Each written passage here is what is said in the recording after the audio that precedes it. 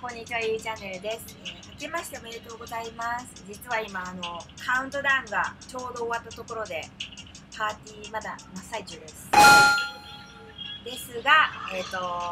年明けのイベント情報を紹介していきたいと思います。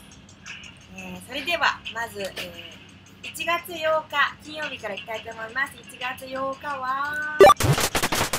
い、ちょっと、映像がないんですけど、写真がないんですけど、え金曜日一のパーティー、レディーステディーゴーです。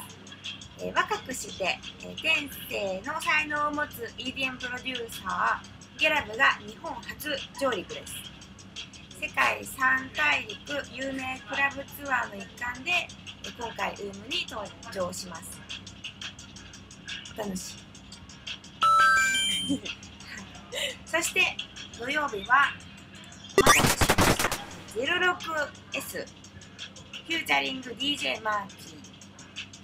しかも今回なんとあのレジデントの DJ 秋の、えー、バースデーバッシュです、DJ マーキーなんですけど、えーと、ブラジルの英雄と言われていてインナーグランドレコーズ主催の、えー、DJ マーキーなんですがあの久しぶりにウームに登場します。あの世界を代表するドラムベースシーンの DJ プロデューサーが、えー、まあ、アキさんのバースデーのお祝いに登場してくれるので、あのドラムベースファンの皆様ぜひお集まりください。そしてミドルラウンジは、えーと、あのケータブラジルさんプレゼンツの、えー、ブラジルパーティーも開催します。あのまあ、DJ マークにちなんで、ブラジルの DJ マークにちなんで、ブラジルパーティーになります。そして、えーと、翌日の1月10日なんですけど、えーと、祝前日なので、えー、日曜日なんですけど、えー、オールナイトのパーティーをします。え、ビーブス supported by Galaxy レッニューイヤーオープニングです。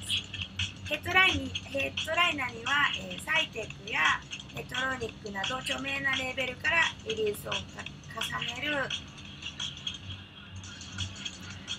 ハライド・サラセンサラセンが登場します。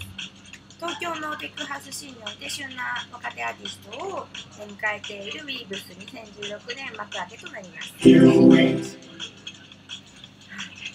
それでは2016年もウームでお待ちしております。